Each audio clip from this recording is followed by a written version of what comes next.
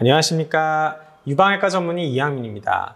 어, 오늘은 전이에 대해서 얘기를 할 건데 그 중에서도 유방암에 가장 흔히 일어나는 뼈전이에 대해서 말씀을 드릴 거예요.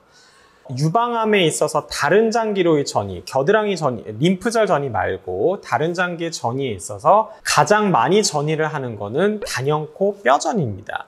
그리고 두 번째가 폐, 그 다음 간, 그리고 림프절과 뇌전이 이런 정도로 전이를 많이 한다고 보시면 돼요.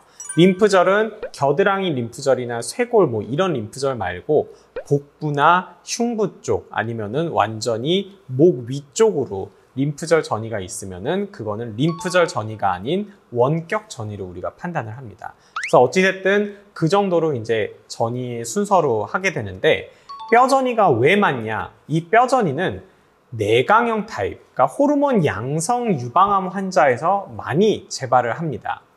어, 이렇게 되면은, 어, 나 뼈전이 되는 거야. 이렇게 걱정을 하실까 봐 정정을 하면은, 삼중 음성 타입이나 HER2 양성 타입에서는 뼈전이가 그렇게 종종 일어나는 게 아니에요. 내강형 타입이 가장 많이 일어납니다. 그런데 유방암에 있어서 호르몬 양성 유방암이 전체 유방암의 70% 이상 차지한다고 예전에 말씀을 드린 적이 있을 거예요. 가장 많이 유방암이 발생하는 타입이 호르몬 양성 타입이기 때문에 그 중에서 가장 많이 전이를 일으키면 그나마 가장 많이 되는 데가 뼈기 때문에 뼈전이가 가장 흔한 겁니다. 근데 물론 내강형 타입은 전이 자체가 그렇게 많이 일어나는 타입이 아닙니다. 그러니까 너무 걱정은 하지 마세요. 그러면 이 뼈전이가 나타나면 어떤 증상을 나타날까?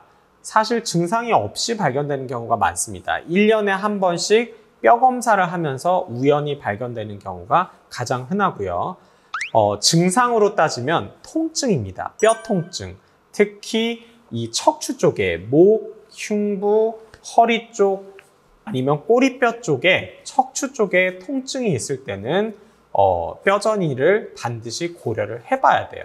물론 허리 통증, 디스크도 있고 근육 문제가 가장 흔하고 뭐 다른 척추 측만증도 있고 여러 가지 원인 때문에 생길 수가 있지만 어, 이전에는 없던 통증이 갑자기 생긴다. 어디 부딪힌 적도 없는데 그러면은 반드시 뼈 전이를 생각을 해보고 뼈 검사를 해봐야 됩니다.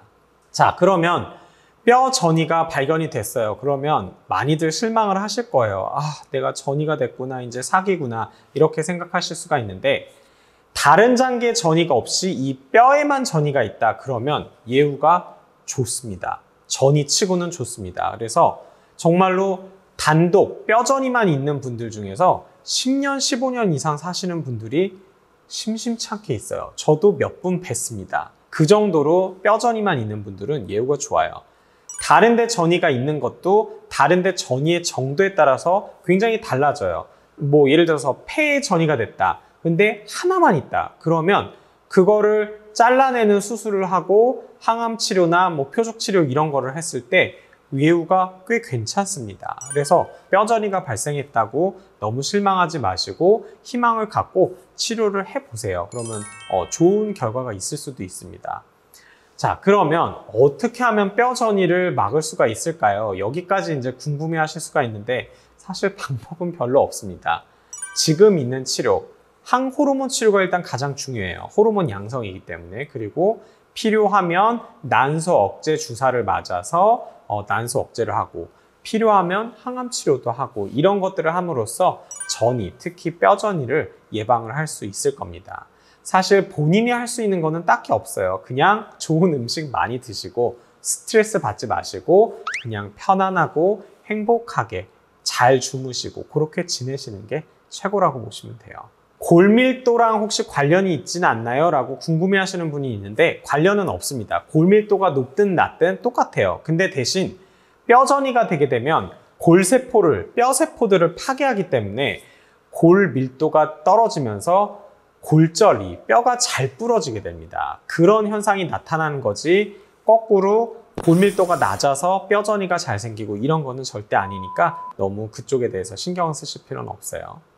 그래서 오늘 이렇게 뼈 전이에 대해서 말씀드렸고 여러분들 너무 걱정은 하지 마시되 어, 그런 필요한 정보 얻으시라고 오늘 영상 준비를 했고 어, 이것으로 마치도록 하겠습니다.